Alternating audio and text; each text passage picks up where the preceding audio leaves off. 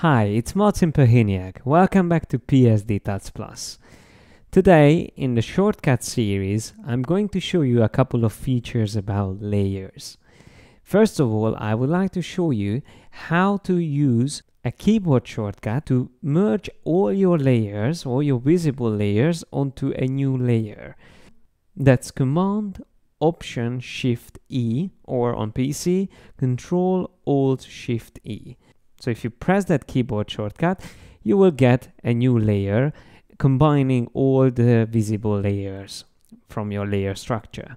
It's quite useful and uh, let's just see if I turn uh, off this layer and turn off another layer group. Again, if I press Command Alt Shift E, it will create that combined layer. Make sure that you have a layer selected which is visible because this option only works then. So if let's say I select this one which is not visible, I use the keyboard shortcut, it won't work.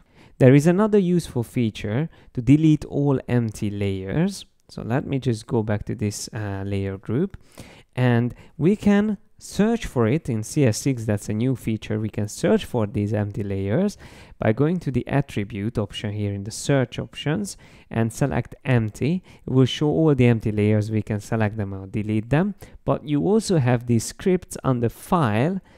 Scripts. You can choose delete all empty layers. And let's see if we run this script it should get rid of all these layers here. Yes the script worked, now no layers match the filter. So you can do it manually, or if you have a previous version of Photoshop, you can do it from the script options. So once again, File, Scripts, delete all empty layers. And also here you can find another useful feature called Flatten All Layer Effects, which will rasterize all your layer effects and also flatten all masks, which will apply the masks onto the selected layers. Again, if you want to make the file size smaller or you want to uh, just make it a bit more difficult for someone to make changes to your files, which is sometimes not the case, but in some cases that's what you need, then you can choose these options. So make file size smaller or make the editability a bit more difficult.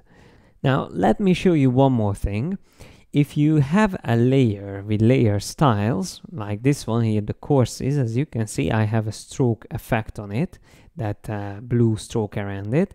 If I want to rasterize this, uh, this effect, but not onto the same layer, but as a separate layer, you have the option for that by right-clicking on the effects and choose Create Layer.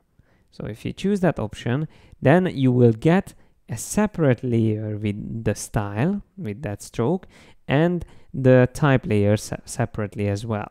So now I can move this layer separately, even though it was a stroke, now I can make it a bit 3D by moving it around like this.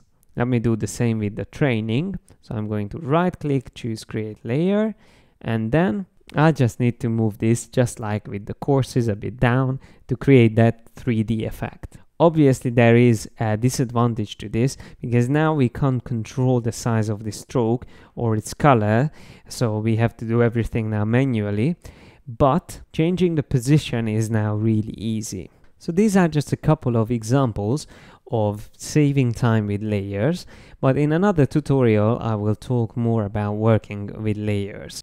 Thanks a lot for your attention and I hope you will join me next time.